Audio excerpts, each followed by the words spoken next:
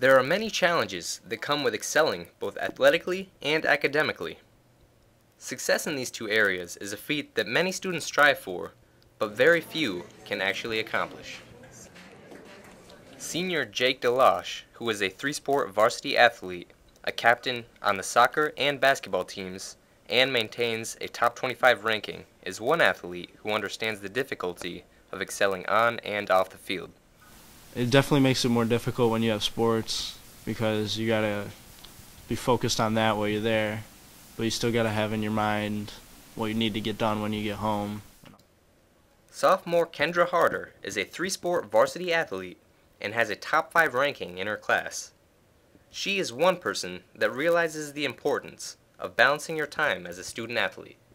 Balancing your time is really key. I mean, it's a responsibility and it's it's hard to really learn, but over time it kind of becomes a lifestyle and you got to make sure that everything's getting done because school really does come first. Senior Bailey Groves, who participates in honors classes and is a three-sport varsity athlete that will play Division 1 lacrosse next season for Siena College, agrees that though it is difficult, it is crucial to find time to get your schoolwork done. It's definitely difficult, but you have to realize you have to make time for academics as well as your athletics.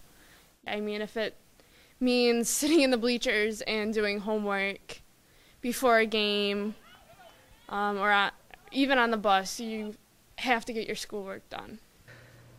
Senior Austin Clark, who is a member of multiple honor societies and competes on the cross country, track and field, and swimming and diving teams, is a student athlete that takes pride in his accomplishments and feels that it is his responsibility to set a good example for younger athletes.